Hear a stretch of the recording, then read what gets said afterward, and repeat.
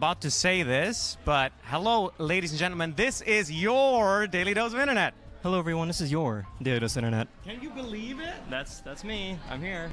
Daily Dose guy, everybody. Why are you even here? You're a YouTuber. Get out of here. I, you know, it's a good question. Um, QTCinderella just said like, "Hey, come on over." I'm like, "Okay, I'm here." And uh, yeah, so I flew in from Chicago, and now I'm here. So this is really new and different, and I'm excited and extremely nervous, and I hope I don't.